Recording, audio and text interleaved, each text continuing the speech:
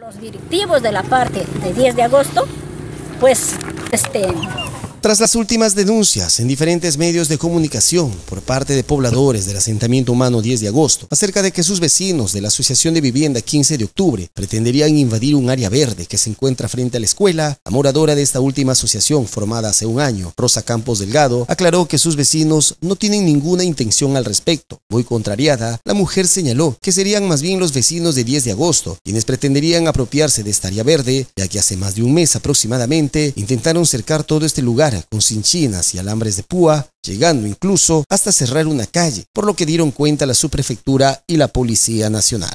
Señor periodista, yo lo que quiero aclarar es de que no lo recuerdo la fecha en cuanto cerraron este girón de Salaverry. Cerraron con calamina esa parte y toda esta parte con alambre. ¿De hace qué tiempo más o menos? ¿Un mes, dos meses? Un mes. Un mes. Sí, un mes. Ya, entonces eh, nosotros, de vernos afectados por la calle, hemos acudido a la, a la subprefecta para que vea el caso. Entonces la señora subprefecta inmediato ha venido, ha visto el caso y les ha notificado que lo, que lo liberen en la calle, pues, o sea, que quede libre, que abran la calle.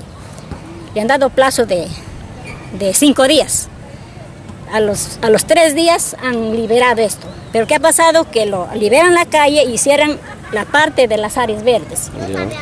Y yo lo tomo, más bien como ellos nos están diciendo que nosotros somos este, invasores, yo lo tomo que ellos son como invasores. ¿Quién, ¿Quién hace eso? Es la señora gobernadora con el señor director. ¿Han tratado de apropiarse de esta área verde? Sí, porque estaba alambrado, pues absolutamente que estaban apropiándose. Ahí se puede ver todavía los, huecos donde han estado sembradas las hinchinas. Sí. Campos Delgado indicó que ante este problema de límites optaron por acudir hasta la municipalidad, quienes les dieron un plazo de tres días para retirar el alambrado que cerraba la calle y a su vez dejar libre el área que habían circulado.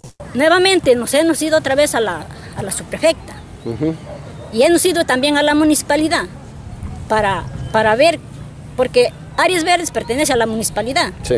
Entonces, ese caso nos hemos ido a la municipalidad. Nuevamente ellos han venido a, también vuelta a constatar si era verdad. Ya, han visto el caso, han dicho, le vamos a notificar que tres días saquen ese alambrado.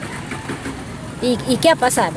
Eso ya no sé si, si lo han notificado o no, pero cuando nosotros hemos llamado nuevamente que no sacan el alambrado, han venido, han venido ellos mismos a sacarle ese, ese alambrado. Ellos han sacado ese alambrado. Ellos habían alambrado todo esto y habían cerrado esta calle. Sí, ellos habían cerrado esta calle y alambrado todas las áreas verdes.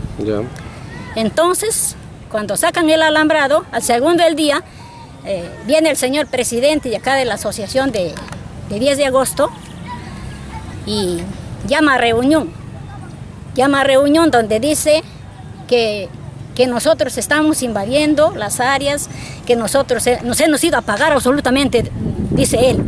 Nosotros no hemos pagado nada, porque Áreas Verdes pertenece a la municipalidad, lo que ha hecho todo es la municipalidad.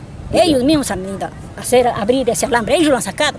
No han hecho abrir, porque ellos mismos han venido con su gente y han hecho han sacado ese alambre. Campos Delgado negó asimismo que algún integrante de la Asociación de Vivienda 15 de octubre haya amenazado de muerte a los dirigentes de 10 de agosto y que lo único que desean es vivir sin ningún tipo de conflicto. Dice, las autoridades de la Asociación 15 de octubre nos están amenazando de muerte y queremos que se vayan a verificar el lugar y que nos delindan de una vez para que de esa manera no no haya conflictos. Nosotros no hemos hecho ningún conflicto, señor. Ya. No hemos hecho ningún conflicto, porque nosotros solamente hemos dado el parque allá. Ellos han venido a ver o hacer lo que debería de hacer. ¿Usted niega que algún integrante de 15 de octubre haya amenazado de muerte a los dirigentes de 10 de agosto? No, señor, porque no nos han encontrado a nosotros en ningún momento. O sea, la gente de acá de 15 de octubre en ese momento no se ha encontrado. ¿Ustedes también niegan el, interés de querer quedarse o invadir esta zona de, área verde? Señor, en ningún momento hemos tenido esa intención nosotros de invadir esta área verde, porque son áreas verdes. Ya. ¿Esta calle cómo se llama? Esta calle se llama el Girón Paraíso. Girón Paraíso. Sí. Sus límites son Girón Paraíso para el Jumbasa y para arriba es 10 de agosto. Sí, 10 eso de está, agosto. Eso está bien claro para ustedes. Sí.